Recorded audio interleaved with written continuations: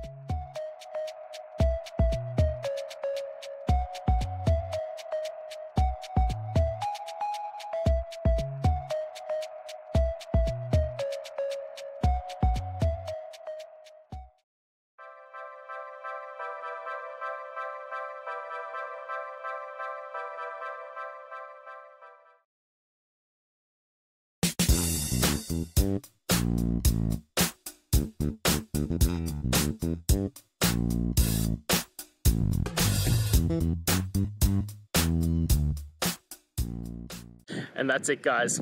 I hope we've gone through and found the answer that you're looking for. And look, if we did find that answer in your resolution, please hit the subscribe button. I'd really appreciate it. Now, until the next time you need technical videos, I hope you have a good one.